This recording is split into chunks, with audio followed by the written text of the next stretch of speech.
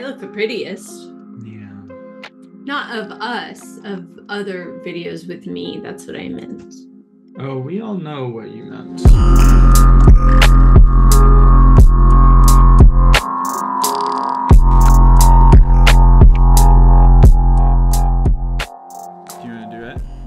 Container is now open. Don't just get triggered. Get enlightened. Wait, that's the message of today's guest. The one, the only Susan Campbell. So, as we explore the world of Eros in this spirit forward perspective, our guest Susan Campbell gives us this major insight that every time your lover triggers you, which they definitely will, mm-hmm. It's a chance to do important inner work, and that's going to catapult you into new levels of consciousness. So, for 40 years, Susan's been writing practical guides on this exact kind of thing living a happier, more authentic life, and she's done a lot of focus on romantic relationships. In particular, she's written this, uh, it's kind of the Bible of authentic relating. And also this book, From Trigger to Tranquil, which Sai and I actually use. That's why we're so tranquil. and so triggered. To find Susan Campbell's books or book a session with her as a therapist or coach, go to her website, susancampbell.com. And keep an eye out for part two of our interview where she actually gives us a live coaching session. So you get to see the principles in action. Until then, here is your interview. With Susan Campbell.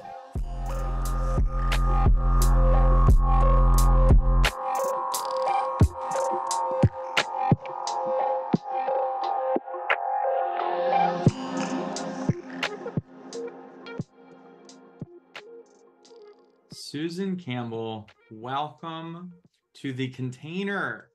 We are so excited to have you on because this is very important because uh, about a year ago, I purchased this book, Getting Real. Uh, it comes very highly recommended. Um, and then recently we had an interview with Jason Digges on this big two part interview on the history of circling and his firsthand account of the authentic relating movement. And what book came up as like a you know must read books in the movement that helped um yeah build the foundation of authentic relating and yeah it it it's very clear to me now that you're like a major um yeah you're like a a foremother of the movement you're um you're responsible for so many important ideas crystallizing and reaching the page and so it's a great honor to have you here Thank you, Jonathan. Mm. I'll just take that in. Hmm. Mm. Mm. Yeah, so I would like to start with just getting a quick bio of how how you went from um, a human in the world to someone who was alert to these practices as ways to build deeper connection and yeah, like live a more spirit forward life. Okay. Well, I'll try to make this brief, but I did start noticing something amiss or dysfunctional in our culture when I was a teenager. Uh, this was the 50s. Okay, the 50s. Everybody tried to conform and you know be normal and that sort of thing and hide their weaknesses, not ask for help. I mean, although see, I just thought, well, what kind of a world is this where people can't show vulnerability, can't be honest with each other because it might be a little bit painful. So I've been on on this honesty path for a long time. Mm. And I had a lot of, you know, you said I'm this foremother or something, but I had a lot of teachers and I was part of the early encounter group movement, Esalen, et cetera. But I used to we, we were pioneering in those days. So I, I used to try out all these different experimental games, huge, large group games where you'd you'd close your eyes and mill around with 300 people and find somebody's hand and get really connected to their hand. And you, can kind of imagine, you know, a lot of eroticism starting to come up in these groups.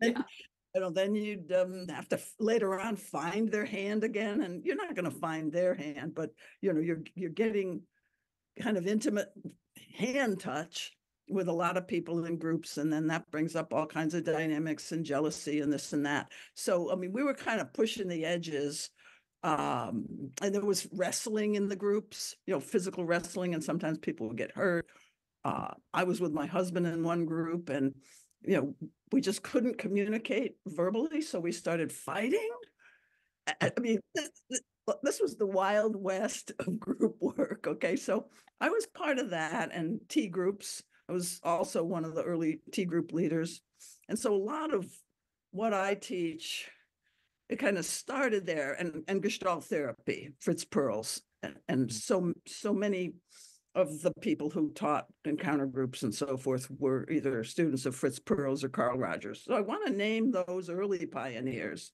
Mm, Carl Rogers used to do completely unstructured groups where you just sit in a circle and know, he wouldn't give any instruction whatsoever. And you know, you'd just be anxious as hell, you know, because nobody's giving you any structure.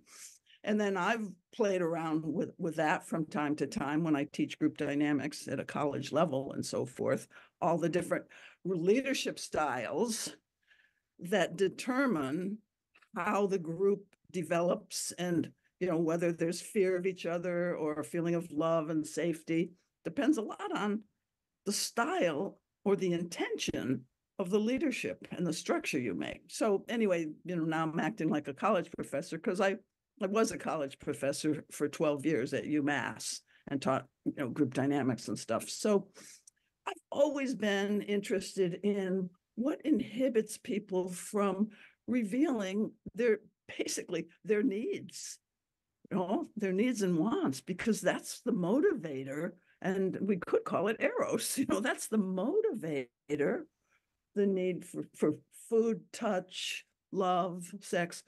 Um what's so inhibiting about that? What's so scary about that? And of course we we know logically what is scary about that. You know you might not get what you want and that's associated with a lot of times really that being a survival issue when you were young. Know, if not getting what you want happened when you were young in a serious enough way, that whole issue is associated with survival.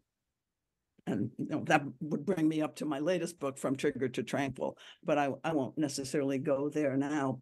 But um, so then I kept teaching. You know, I quit UMass, but I just kept teaching my own seminars and evolving my work. And and I've got eleven books. So um, each book is a different stage in my own development. But one that you might be interested in knowing about is the couple's journey, where I put forth the idea of intimate relationship as a spiritual practice, where as you go through your conflicts, you start with the romance stage, but then you have a stage where you differentiate and go through differences and conflicts and disappointments.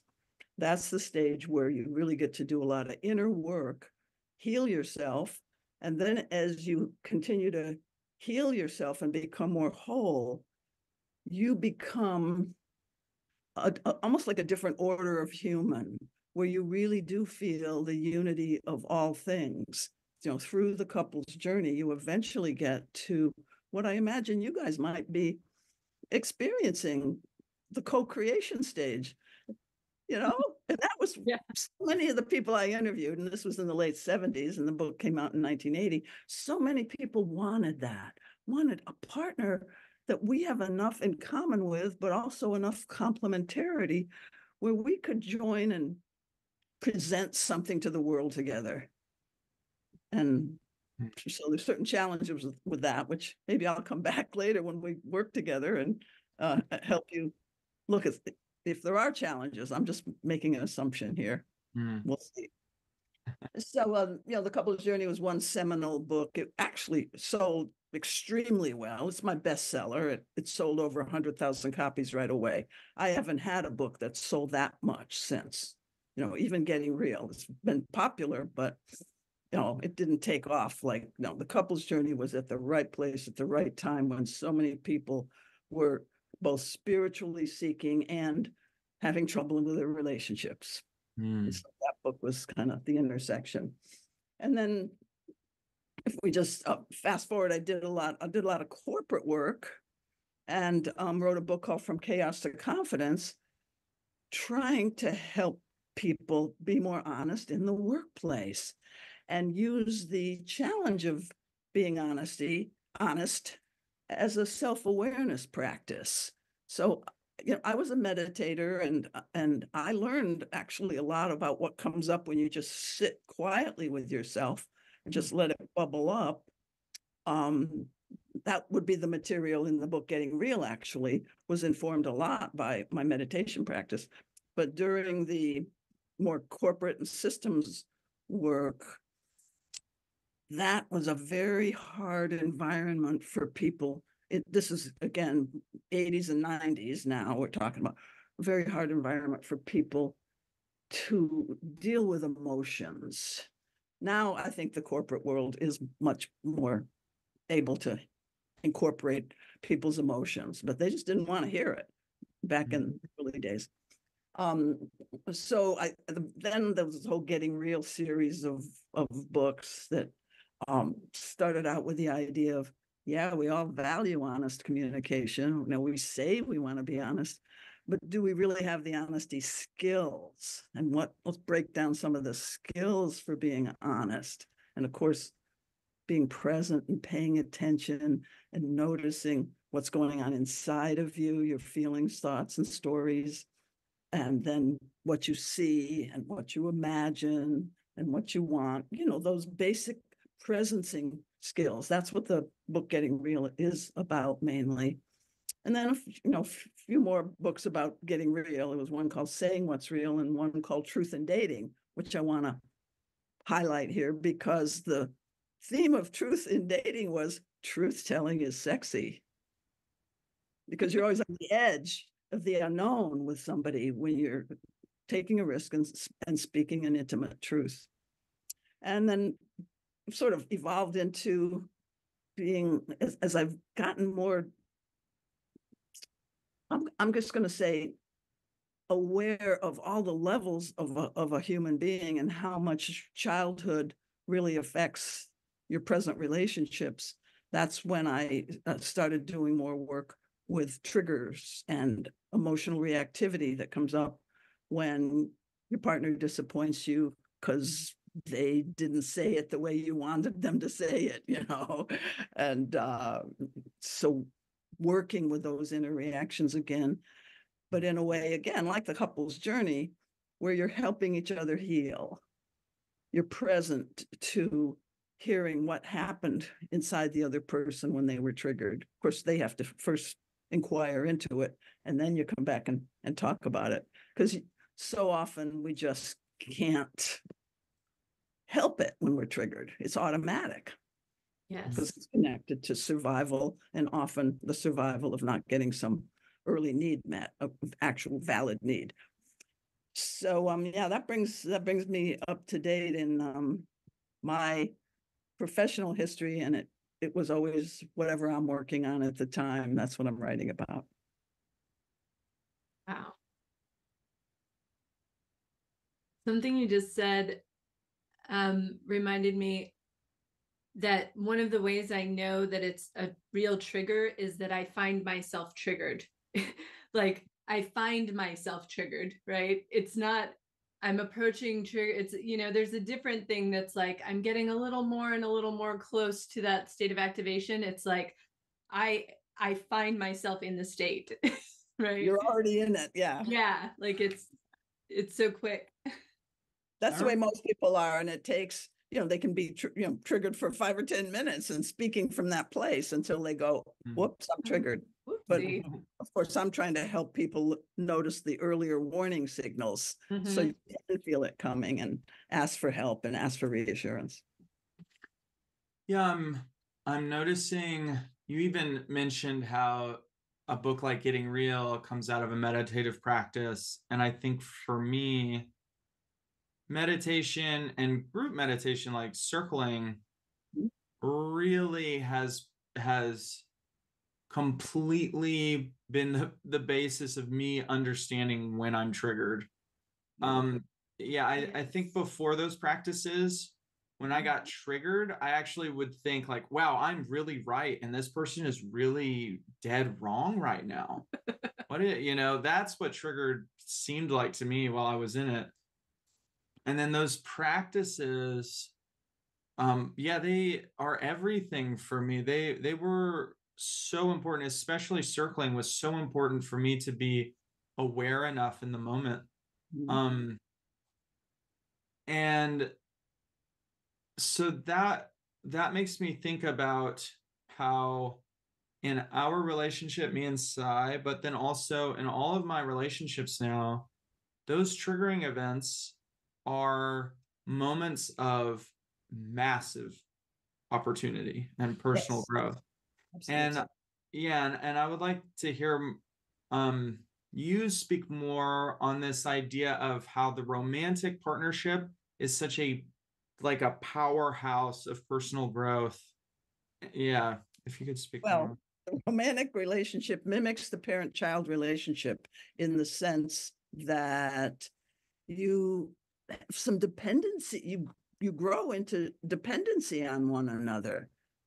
Oh, it- it- it's Mm. just, you know, I I I I I I need your presence to feel loved and safe. Oh, however you think about it, it just kind of over time you you get a bond and if you didn't bond well with your first caregiver like usually it's the mother um then that's probably because there was some kind of mismatch between what the mother could give and what the child needed. So right away they're in the bonding phase there's an opportunity to get triggered. Um, so when I wrote the book Truth in Dating, it was all about how you don't have to be a long-term couple for this kind of stuff to come up. But let me just go back to the the long-term or the you know more bonded couple. So um, one of the ways that it makes the couple relationship such a powerful container for knowing what your childhood unfinished business is is because I, you know, you're my mommy and my daddy in some ways. Uh, and yet, you know, I'm, I'm not promoting that, but it just, it just seems to be what is.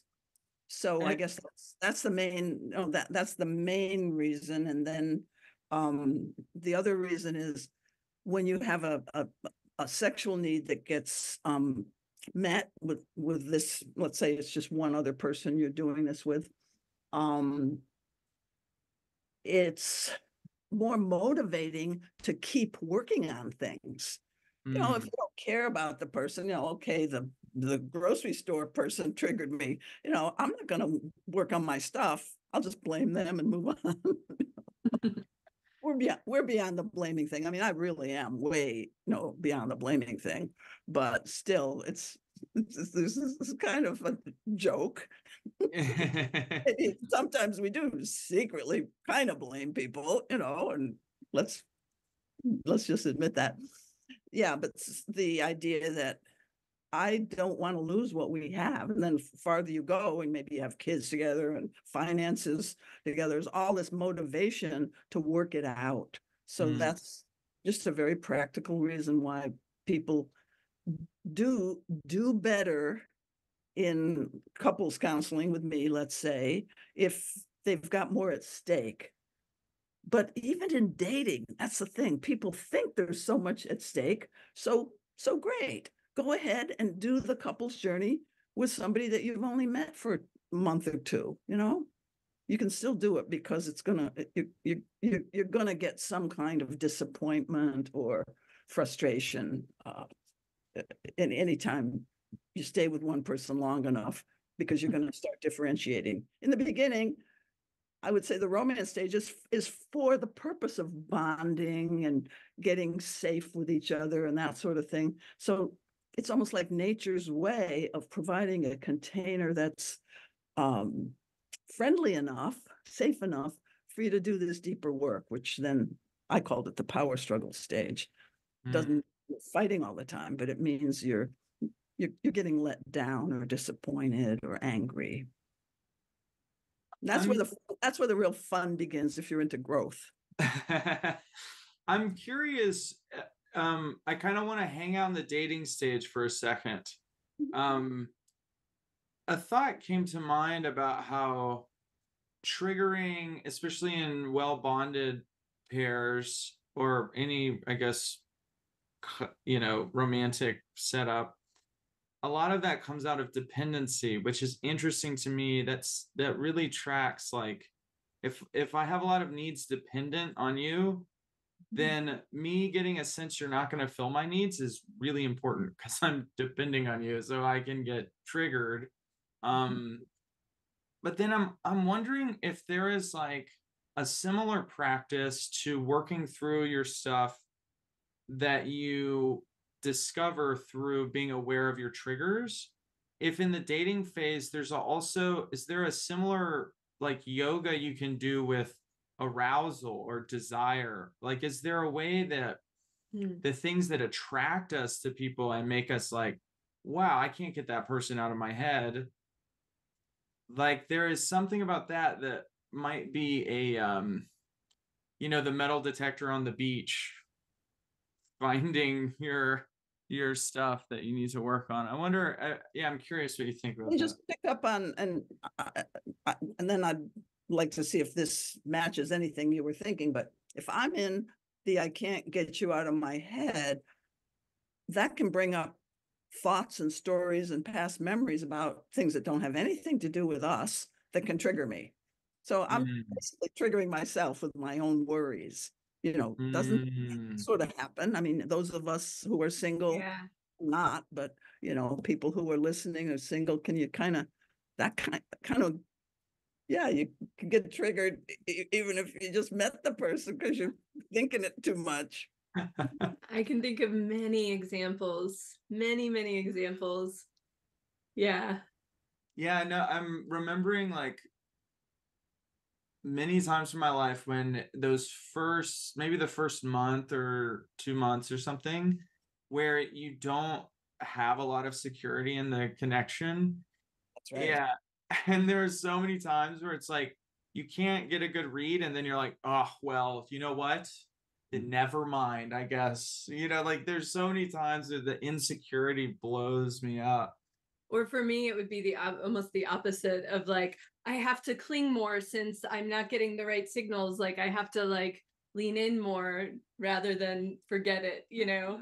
Like, I I had like that in early stages of connection, like um almost like a almost like a desperation, you know, to like make sure everything was going to be just right and you know like try to predict what what was going to happen next and you know imagine imagine scenarios and try to direct things in certain ways i mean those are those are all Yeah, well, this this early stage of dating is a very insecure time, uh, you know, as Jonathan was kind of saying. And then, do you want me to call you Sarah or Cy? Because ooh i prefer Psy. thank you Cy, okay, so Cy, you are doing this thing that you know that, that I call kind of controlling. Yeah, Oh, I Mhm. yeah of putting the book getting real. Are we relating?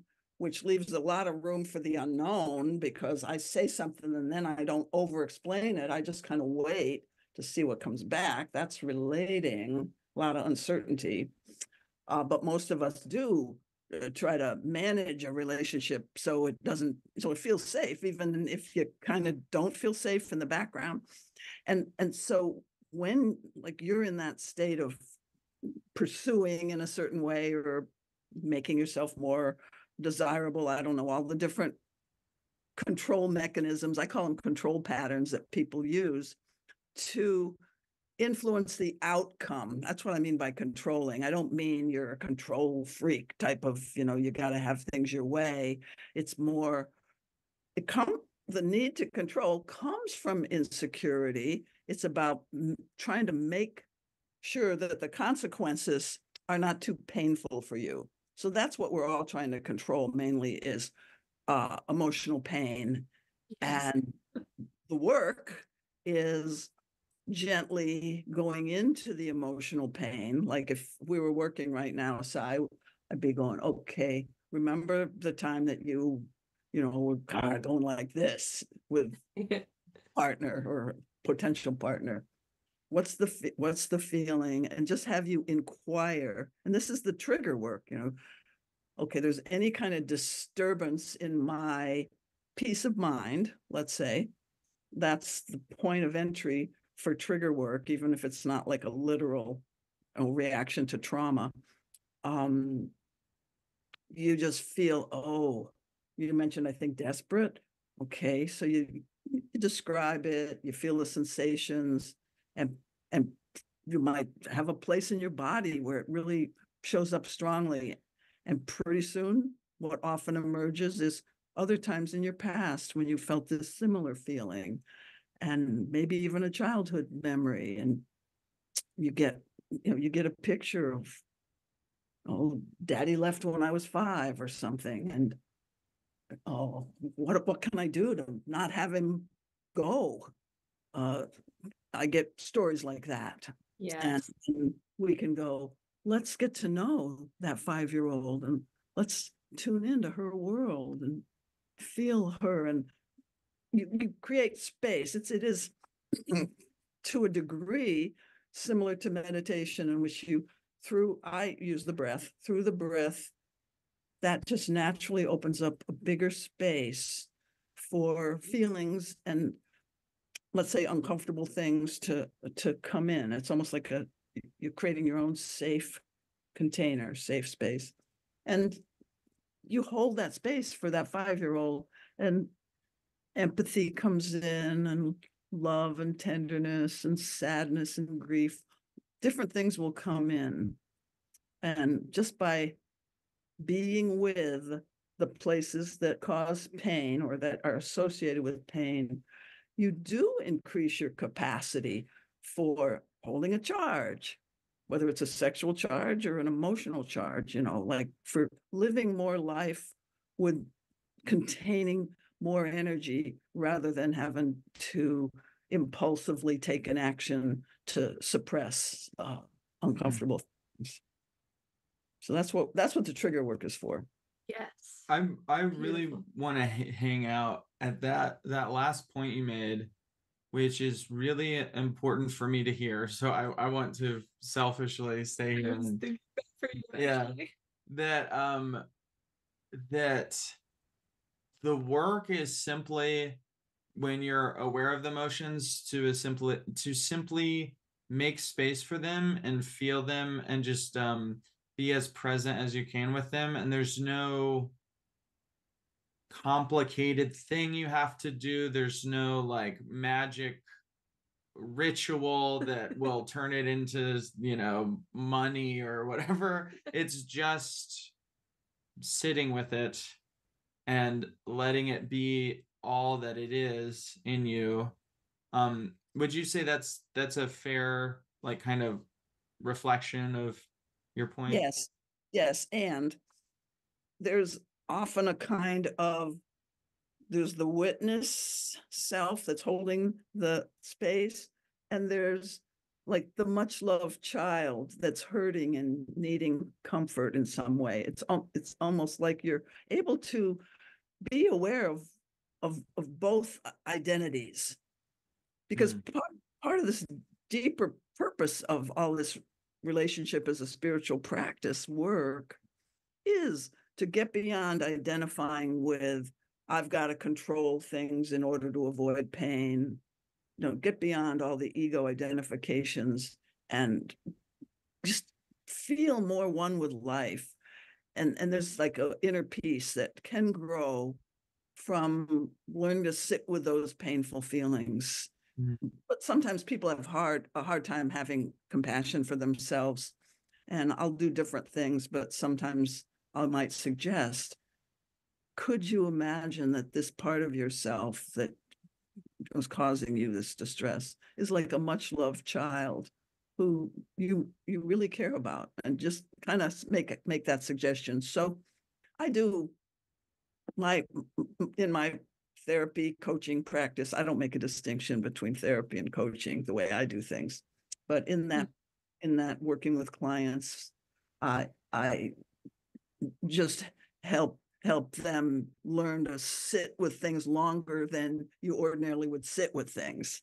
That's that's Mm. key you know and also not expect you to never have that feeling again like don't expect to never get triggered again. That could happen you know because you get more spacious you get more aware of more of reality. That's the whole idea of getting real is being able to handle more of reality uh, rather than because when you're triggered you've got a very narrow focus and you know i only i only see the option of oh either you win or i win that type of thing Mm.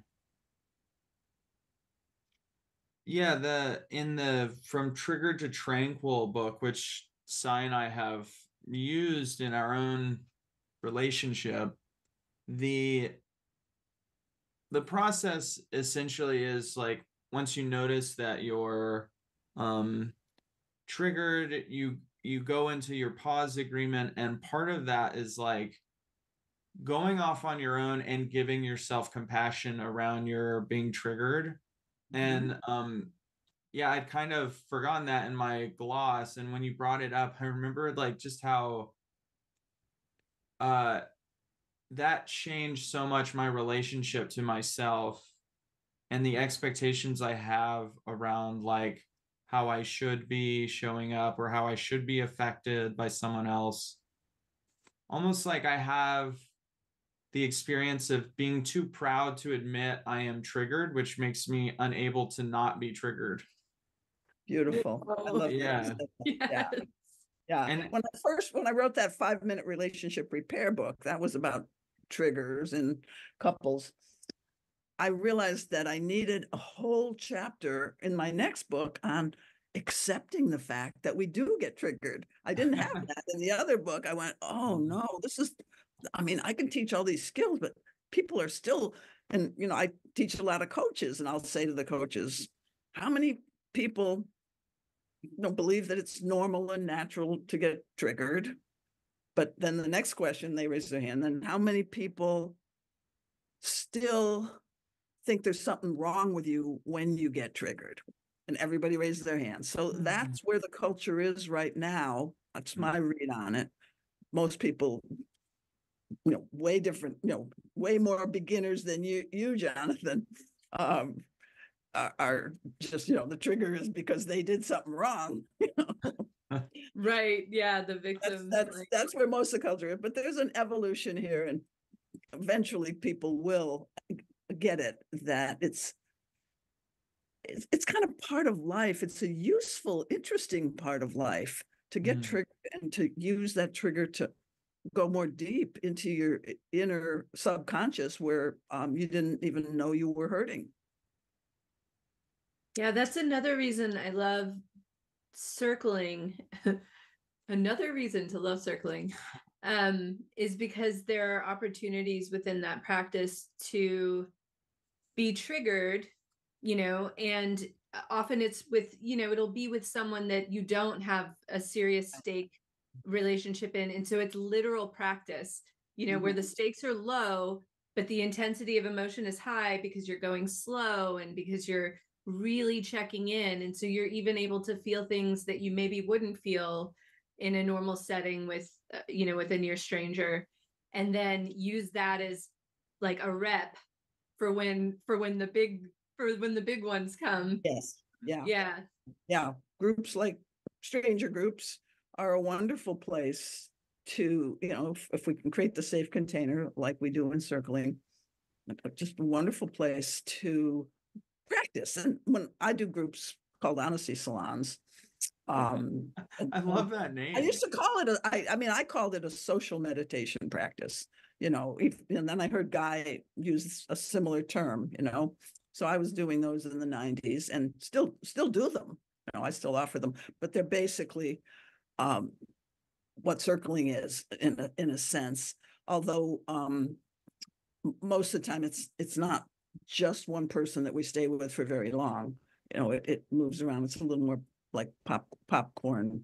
People co- bring things up, say things, and then um they get feedback or that somebody shares impact. But these honesty salons, um, yeah, it's a great place to get triggered. And when I do them online, I sometimes you can't always tell when some people are triggered because there's, you know, a group. So I have people hold up a pen when you're triggered just to presence the the fact. And there might be two people triggered at once. I have other little hand devices for the for the Zoom calls because there's so much going on that you can't attend to. Actually, that's true in any group. There's so much going on in the space that you can't attend to. Um, when I did the in-person groups, I had bought these little buttons at the dollar store and I gave everybody a button. This was back in the day when I was using the word, you know, what to do when your buttons get pushed rather than the word trigger. Um, and I would say, well, we've all got buttons. So now you've actually got a physical button. And when you get triggered here, raise your button. And so I was trying to make it more lighthearted. Uh, 'cause Yeah. it's, it's such a heavy topic and making it more acceptable. Yes, normalize buttons. Yeah.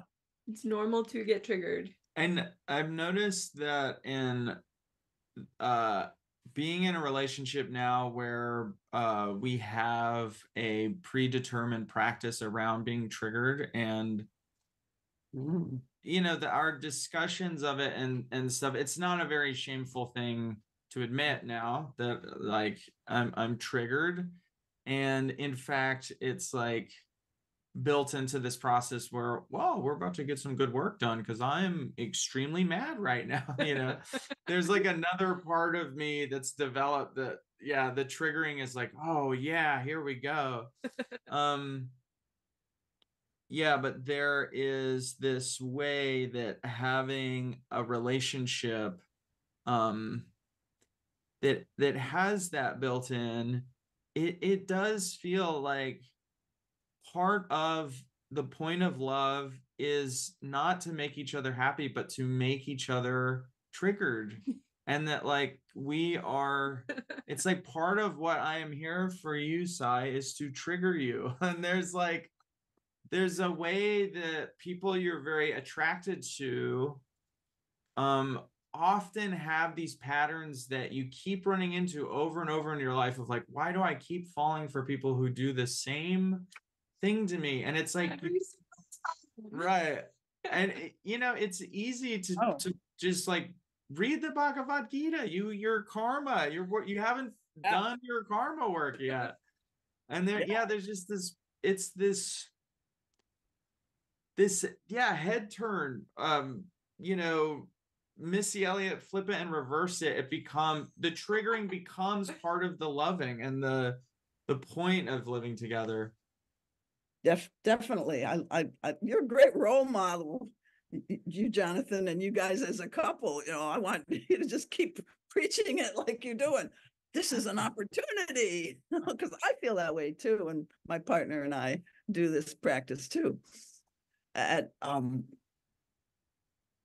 being able to have a practice is a, you know, you guys you know, you, you've been learned, you've learned certain practices like circling, but being able to read a book and digest the practice to the degree where you can actually pause when you notice you're getting triggered.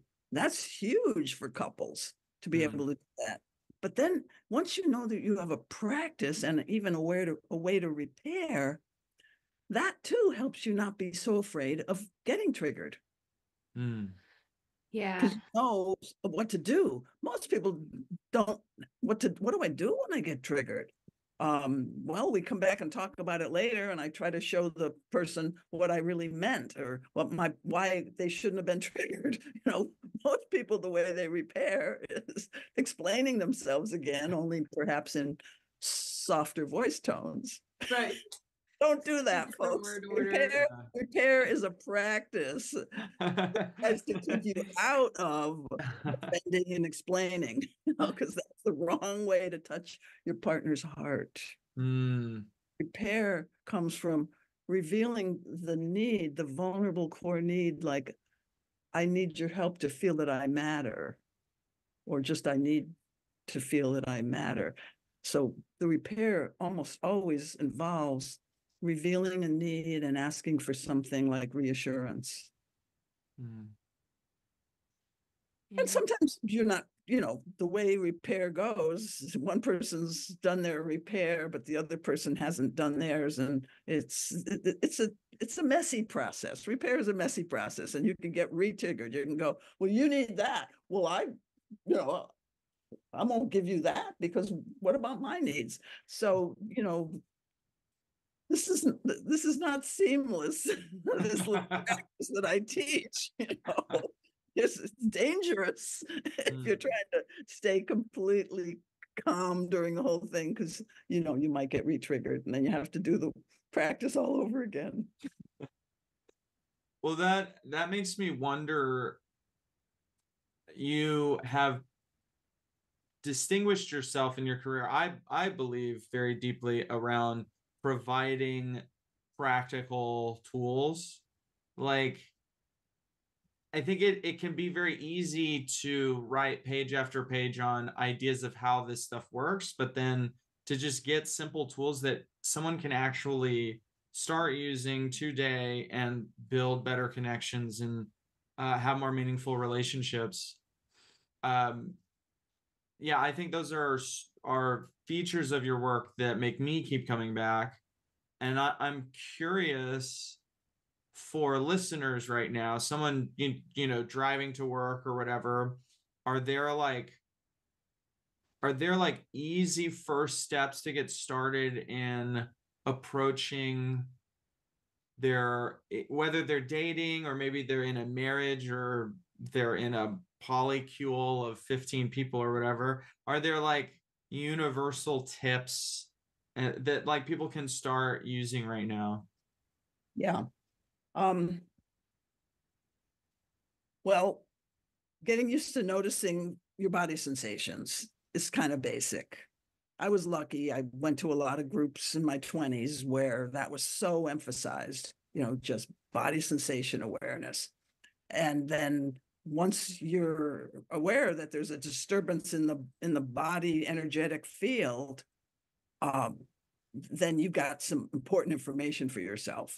Mm. It's like so you need some awareness practices that you have set up in your life e- even before um let's say you try to do this with an intimate partner so basically just checking in with yourself or putting putting a timer if you have an apple watch you know putting a timer or with a little meditation bell that comes on and you know just like in a meditation hall they ring the bell and you're supposed to kind of go inside. You can do that on your own.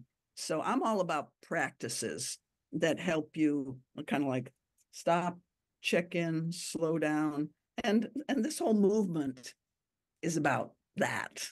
I mean it's not me it's the, the whole idea of practice is ancient and we need practices like agreed upon time I'm going to do this or a way I'm going to do this. And usually a practice is something that's kind of uncomfortable.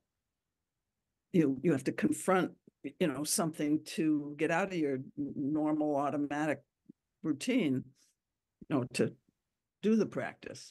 But some of the easiest, and you were looking at, you just wanted, Jonathan, something simple or just check in with myself now and then. How am I feeling? Or after an interaction, or let's say you're on a date and um you make sure that you plan to go to the bathroom whether you have to pee or not you know and you go how's this going how am i feeling what am i not saying That can be a practice. Or same thing in a business meeting. Geez, I'm I've been quiet for the last hour. Yeah, that's because they they didn't listen to me when I tried to talk. And so I just clammed up. Okay. Let me feel my feelings and let me go back to the meeting with more of myself on online here.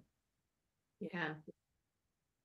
Love So those are a couple. You guys probably know some others. I mean, they're prac, you know, starter practices, but I think it's a great question. yeah the um the just the checking in i really liked what you were saying like on on a date if you check in with yourself and you ask how am i feel how am i feeling first of all because i my experience of first dates or like first five dates is often like managing someone else's experience that's my job is for them to have a good time and it's like how am i feeling and then the question of what am I not saying? That seems like a doorway that if you start opening that doorway more often is going to lead to uh incredible dates and also much shorter dates when you're with someone you you're not going to have a very mindful connection with. it feels like that would shorten up um, a date real nice. What you said, Jonathan, about, um, you know, first five dates, you're kind of hoping and managing the other person liking you, having a good time. I know, we know that's very common. So if you go to the bathroom and you go, oh geez, that's, that's my pattern. I'm doing it now. And these are the things that I said are called control patterns. Control patterns are personality habits that kind of protect you from ever getting triggered. I mean, that's a weird, there, so there, there, our personalities are a defense system. No personality of trying to be a pleaser or, or maybe playing hard to get, whatever your thing is that you habitually do to manage the anxiety, of the unknown. So you go by yourself if you can, you know, take that break and do a little of this compassionate self-inquiry that I was describing. You go, what am I feeling? What's the fear? And getting more intimate with yourself. You you have more of yourself when you come back and you know you sit down with your date and you're you're renewed. There's just more confidence. When you're more real, you're more confident because you're really playing with a full deck rather than trying to oh, you know, I can't let them see that part. I can't even let myself see that part. That's the thing where you're not playing with a full deck is you're just going on automatic. And um, that's one of the things that I'm pretty passionate about and people love learning about their control patterns. They go, oh man.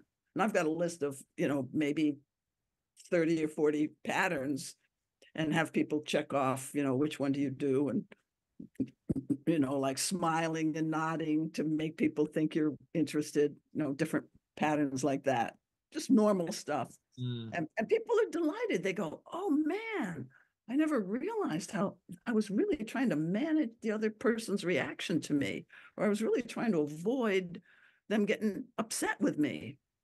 Very, you know, very common, good, normal motivations, but to be aware of them and to be aware that there's some kind of pain underneath that that you're trying not to feel you know it's Mm. buried in, in you know in your childhood based unconscious so so then you know this is all about expanding y- your capacity for life eros Expanding your capacity for life. I love that. yeah. That's the theme of spring for us right now. That is like both in the container, but like in the Yeah. The path in general. the path in general. I noticed that that last uh on that last kind of I wanted to say disclosure as if we're circling right now on the, when you were talking.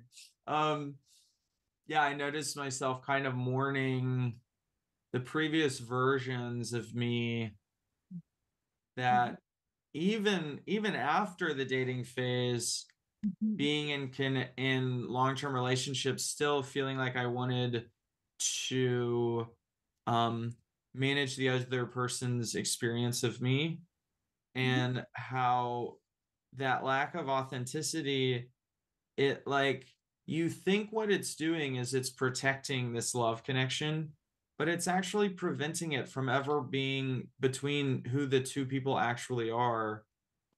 Yeah so there there's this way that um like just the having the triggering practice between Sigh and myself it routinely has me putting on the table things that for decades just for years and years I would have hidden Mhm. and just saying things that I think are not pretty about myself to someone who then continues to love me and support me only more so Yes.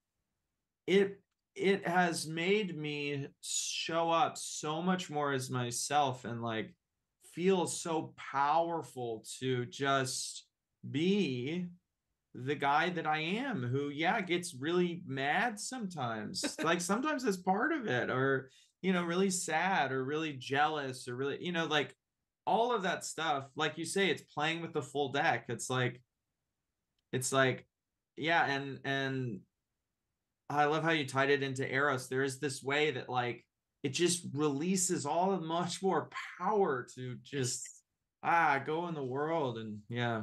Yeah, then the opposite is insecurity. When you're hiding things from your partner, like you said, they don't really know the real you. It breeds insecurity. Like, because they don't, if they really knew me, they wouldn't love me. I mean, it's it's actually like a negative affirmation that you believe that's true. If they really knew you, they wouldn't love you.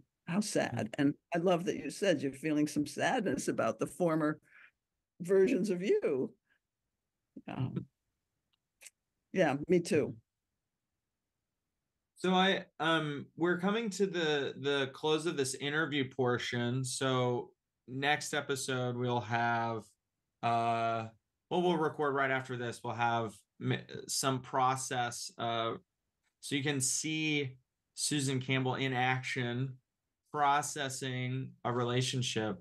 But before that, I want to I want to end on a more path level point because like in in getting real you know the um that whole project was about your own self-realization and just hearing you know far before then in your in your 20s being a seeker who's like learning meditation and these presencing skills and how you've yeah you've had this lifetime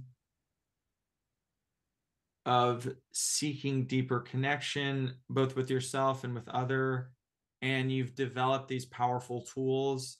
And um i'm wondering where where you are now looking back at that path how you feel it shaped your life. Mm.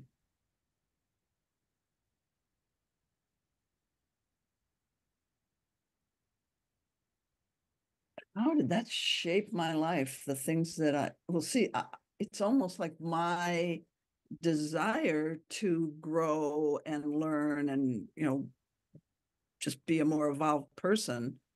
I, like even when I was 10 years old, I was writing essays on what kind of person I want to be when I'm 30. So, you know, just start from that. Uh, you know, listen to self-improvement before I knew what self-improvement was.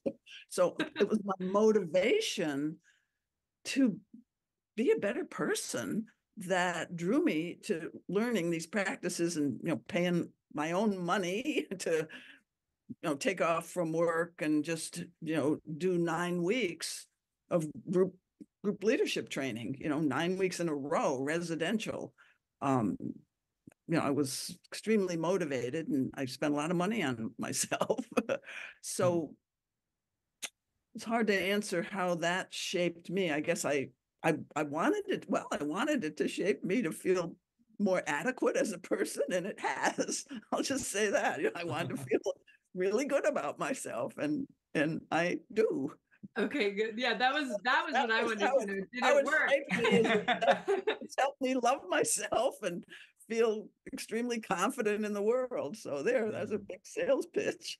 make, and make a lot of money. You know, I I've never had a problem attra- attracting clients. You know, Mm, So, you know, try to you know, and a lot of sex. Let me just say that too. You know, because I'm an experimenting person. You know, I've you know I've had many, many, many lovers and partners. If that doesn't if making having a career and having lots of partners doesn't sell it then nothing in this world will Sex sell money, you know, sex and money and and self confidence. I think you know those are some great buzzwords that I'll throw out. um I never went for. I never went for any of those things. Those are just that's just what comes when your motivation comes from within. Mm, Yeah. Mm, that I love that. that's a great point uh if people want to connect with you or read some of your books like from trigger to tranquil and getting real what where should they go to find you online SusanCampbell.com is my website, and I still do events. And I even do one free group coaching call a month, which you can get notified if you subscribe to my newsletter, which happens if you go to the homepage of SusanCampbell.com. Awesome. Thank you. We'll have the link in show notes. And yeah, uh you sticking around for part two?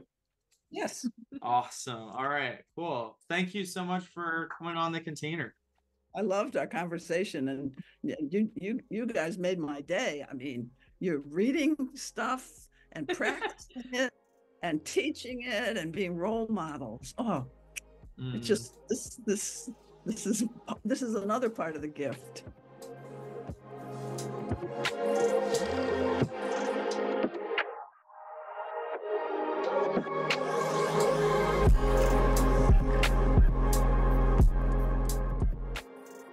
The container is now closed. So, do you want to learn more about Susan Campbell's work, buy one of her fantastic books, or do you want to book a coaching session with her? You can do all that at susancampbell.com, link in show notes. And if you want to support the container, there are a few things you can do. You can like, comment, subscribe on YouTube. You can go to the website, mm. thecontainerpod.com. You could become a patron Yeah. on the Patreon. Some of that Monday. Patreon.com slash the container. Or share this content with anybody and everybody. Okay, and remember, part two of the conversation is coming next week, where you get to see Susan Campbell enact these principles live in a coaching session with none other than Sigh and myself. Ooh, And we have a nice way of closing. keep it nasty, folks.